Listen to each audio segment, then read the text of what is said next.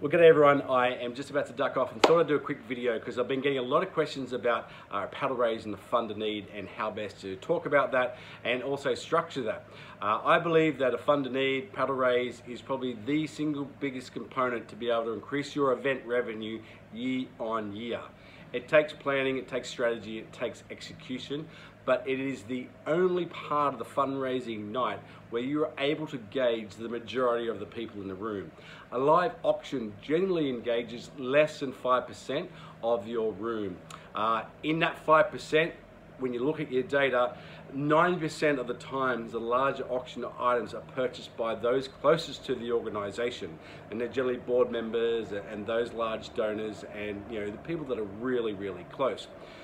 A paddle raise properly structured and positioned will enable you to reach the whole room. And I'm not saying that you're going to get 100% participation, though we'd like to.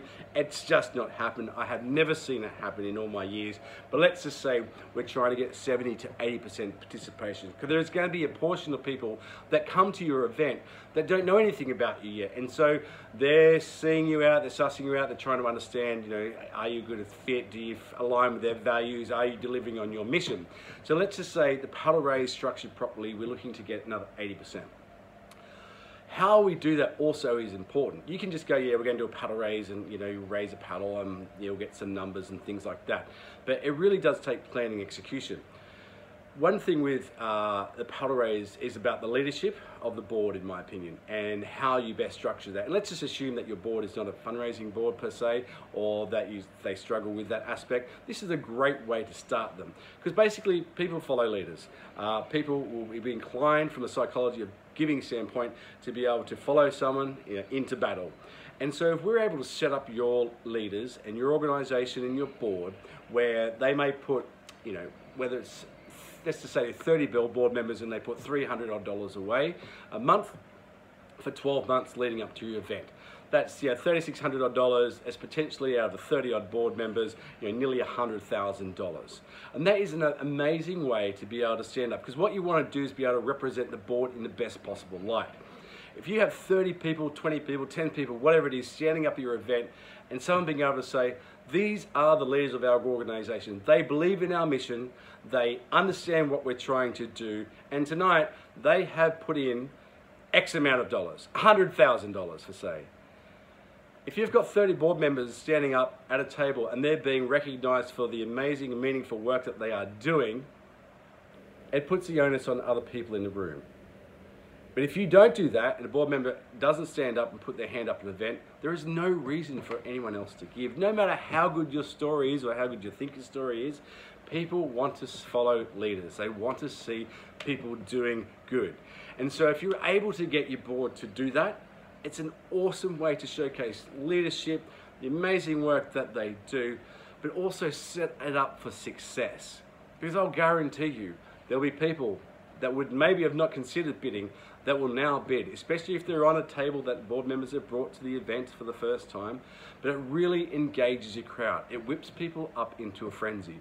And so being able to position it, whether it's 10,000 or 100,000, whatever the amount might be, you've got to think about it from a strategic standpoint and how you set it up. It takes planning. It takes the phone calls. It's, it's a portion of major gift conversation for your event and that's especially before and also after in terms of being able to set it up for the following years. Uh, so there, it is the most amazing opportunity. We've I worked with two, uh, a couple of schools and other non-profits this year. We've took take one from twelve thousand dollars to fifty-three to one hundred and six to two hundred ten thousand just a paddle raise alone. The opportunity is there. It takes work and planning and strategy to make sure we get it right and it's year on year. Uh, and it takes the planning after that as well. But it really is the best opportunity to raise money directly for your mission. It's 100% tax deductible, and it is a great way to raise money. Remember, auction, all the work you do, all the fulfillment you have to do, all the asks, it's a lot. So look at restructuring it. The auction may never go away. For some events, I have completely sent it away because it is a lot of work for a lot of return. Think big. Think about your audience. Think about all the people in the room that you want to engage, that you want to have as first time donors, as repeat donors, and work out how we structure that, how we ask them. You need to tell a great story. There is no doubt about that. You need to have a great story. You need to have a good speaker that hits the emotional arc of the evening. But more than likely, you have all that. And if you don't have that, if you're a small non-profit, I'm happy to help. But the larger non-profits have marketing departments and they have video budgets and they have the ability to do a lot of this stuff.